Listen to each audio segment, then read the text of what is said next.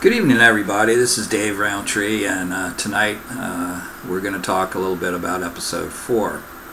Um, technical wise, Holmesburg Prison presented a lot of issues. Number one, there was no power anywhere inside of the investigation area for us to utilize to run any kind of equipment, including cameras, lighting, uh, or the actual power required to do the experiments.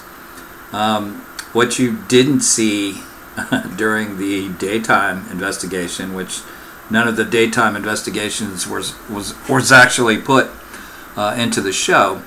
Um, but I actually spent uh, two and a half hours setting up the experiment in the location alone. Uh, Holmesburg Prison uh, rates right up at number one for creep factor for location for me, and this is after 38 years of doing research in some of the craziest places on the planet. um, I will say that while I was setting up the experiment, I had several personal experiences, um, some of which uh, were very disturbing. Uh, I was touched several times, I was shoved twice. Uh, I had a lot of uh, things go wrong with the equipment trying to set it up. Um, the primary uh, scope of the experiment initially was to try to get some type of background information uh, on the location during daylight hours, which I could then use as a sort of baseline. Um, however, once we fired it up, we had a very elevated level of EMF, and uh, using portable equipment, I could not locate the source of that EMF. Uh, it looked like it was emanating from an area about two front, two feet in front of the opening to uh, H block, or the block that we ended up uh, doing most of the nighttime investigation. And because of the reported activity there, and because of the murder that took place, and we sort of centered it around the location where the inmate fell and died on his way out. Uh, that also seemed to be the location of where the EMF was emanating during the daytime.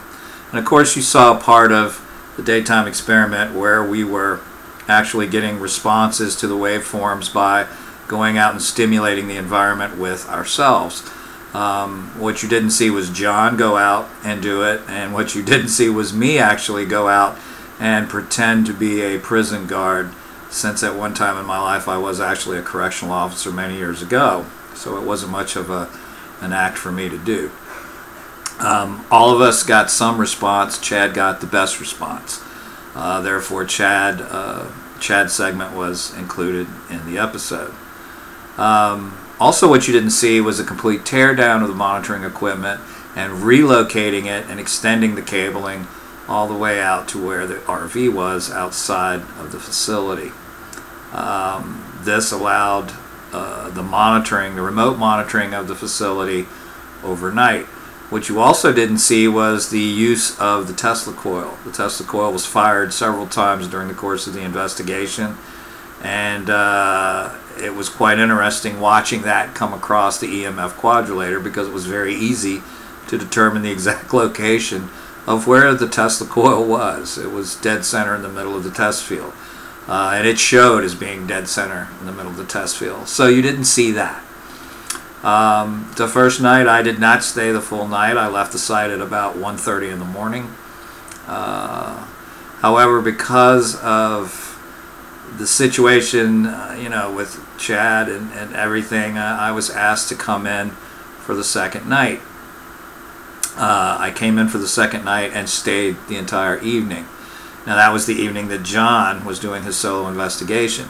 Now the three of us are very close.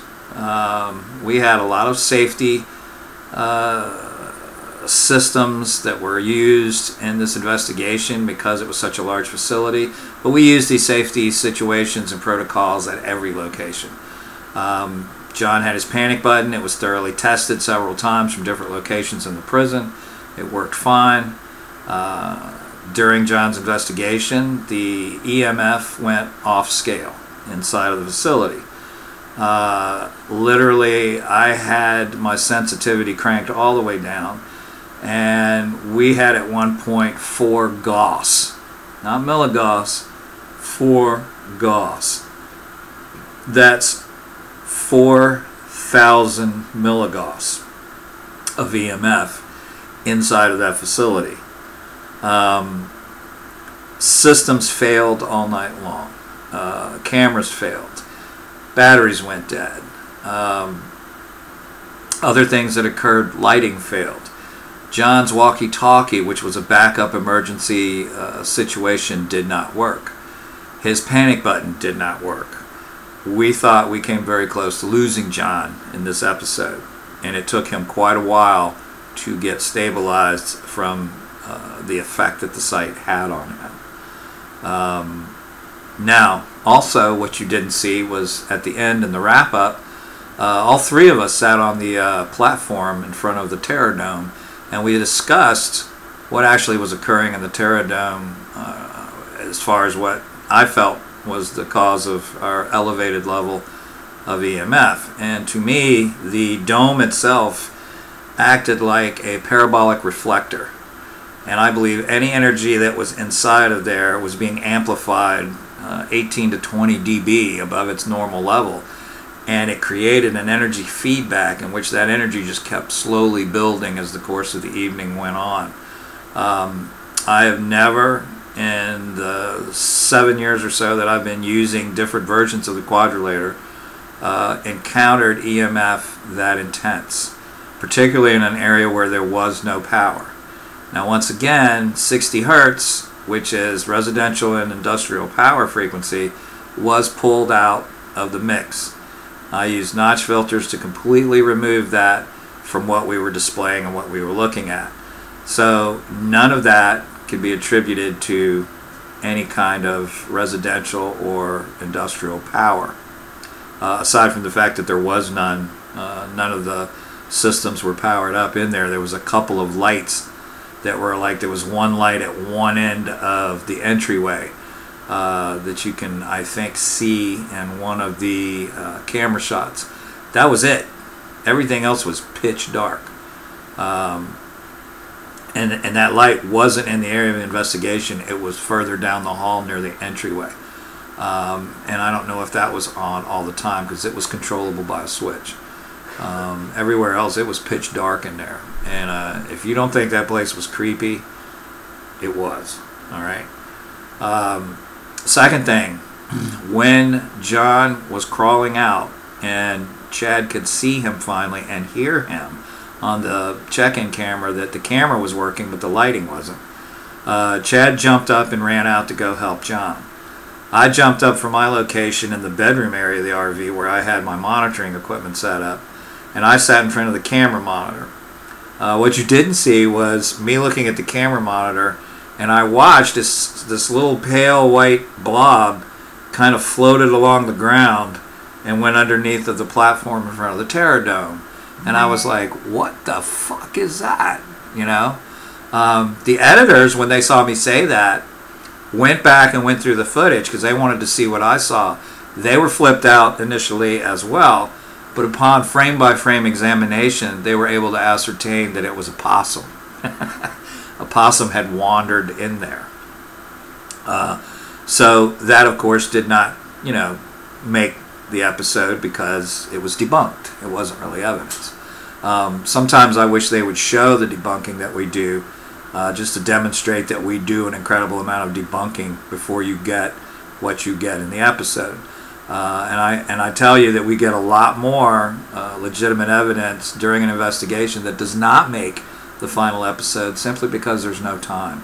So what you are getting is the cream of the crop of the investigation, the best parts. Um, but as far as other activity, there was tons of other activity. Um, so this was one of my favorite episodes in a lot of ways, but it was also one of my worst episodes in a lot of ways. Uh, it was my worst episode in the fact that we were really afraid for John.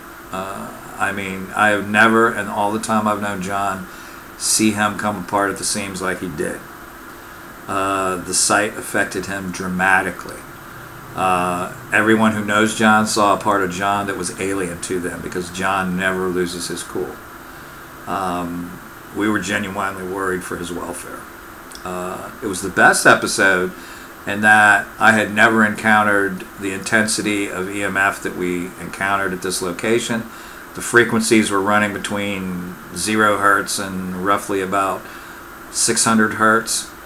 Um, and it was very obvious when we fired up the Tesla coil because it was a steady overdriving signal in all four sensors. I wish they would have shown that, if nothing but just a brief uh, pictograph of it or uh, just a, a, a, little shot of it because it would have demonstrated actually the frequency and what we were putting into the room power wise. When the Tesla coil came on, it went off scale. We were putting way more than 4 Gauss of EMF into the uh, environment. Um, so, uh, that was a, a, very exciting episode. Uh, I think a lot of the fans that were watching it had a, had their heart go up into their throat at some point, and I assure you, so did we. Uh, it was kind of interesting that we had a role reversal where Chad was actually rescuing John instead of the other way around, and it was Chad calming John down instead of John calming Chad down. I think as the uh, season goes, you're going to see that Chad begins to mature as an investigator, and uh, Chad uh, is empathic I mean, he doesn't accept that or really acknowledge that yet. But Chad is a very empathic individual, and I think that that intensifies his experience when he's alone in these locations. Um, so, uh, that's it for episode four of this week. Uh, as usual, feel free to uh, call me, talk to me, not call me, talk to me, or uh, send me a text in, in Twitter or uh, on Facebook. If you have any specific questions, I'll try to answer those. So, um, looking forward to seeing everyone next week on our new night, Thursday night. And uh, have a great week.